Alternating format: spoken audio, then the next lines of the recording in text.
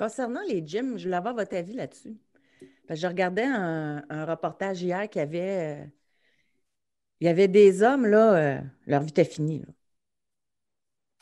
Eux autres, là, ils disaient euh, c'est qu'on va vivre comme un sevrage, comme quelqu'un qui, qui, décide d'arrêter de fumer, nous, de ne pas se rendre au gym quand on est allé, habitué d'y aller tous les jours, etc. Moi, mon premier réflexe, c'était ben là, va, faire du jogging dans la rue, organise quelque chose chez vous, mais en même temps, ces habitudes-là de vie, ça peut-tu effectivement beaucoup les affecter?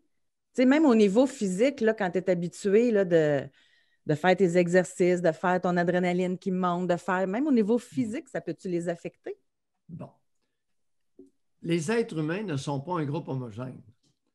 Et les individus, hommes et femmes qui fréquentent les gyms, euh, peuvent différer beaucoup les uns des autres. OK, ils ne vont pas tous pour les mêmes raisons. Puis... Ils n'y vont pas tous pour les mêmes raisons. Donc, les raisons de fréquentation étant différentes, en cas de fermeture des gyms, l'impact sera différent d'un individu à l'autre.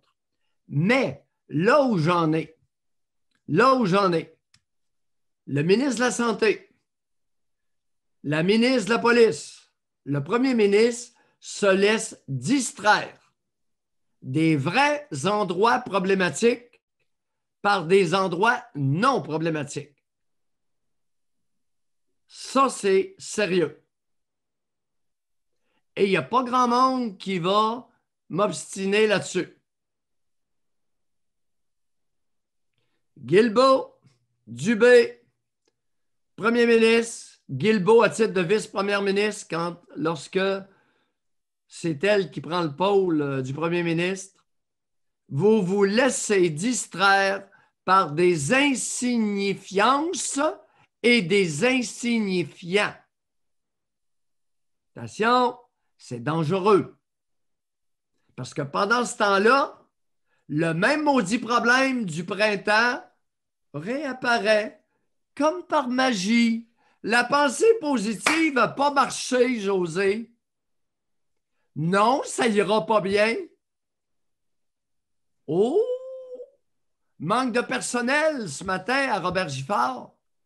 Manque de personnel, José. Manque de bras. Intervention de l'armée au printemps. Besoin de bras, disait le premier ministre. Mayou disait besoin de personnel. Personnel compétent. C'est important. Mm.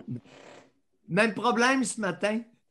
Ben là, il y, aurait y a des médecins qui dénoncent qu'il y a des patients qui auraient manqué d'hydratation et d'alimentation à Robert Giffard, qui s'appelle maintenant l'Institut de santé mentale, l'Institut universitaire de santé mentale de la Ville de Québec ou de, l'Université Laval, je ne sais pas trop quoi.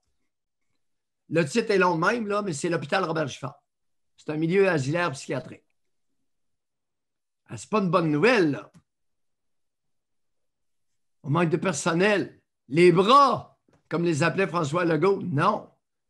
Personnel compétent, parce qu'on ne peut pas les remplacer par des bras. Oh! Est-ce qu'il y en avait assez? On est le 30 octobre. Il en manque déjà. Hmm. José, l'hiver n'est pas fini. Non. L'hiver va être long. Puis les patients, moi, je connais ça, la psychiatrie. J'ai fait un stage là à Robert Giffard il y a deux ans. Je, connais la clientèle qui y réside. Il y a du monde qui, il y a des patients à Robert Giffard qui sont de passage et il y en a d'autres qui y vivent.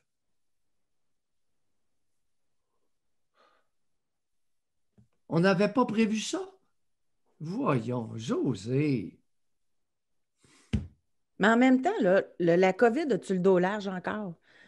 En même période, l'an passé, moi, quand je vois les titres d'un journaux, les urgences débordent, bien, ils ont toujours débordé.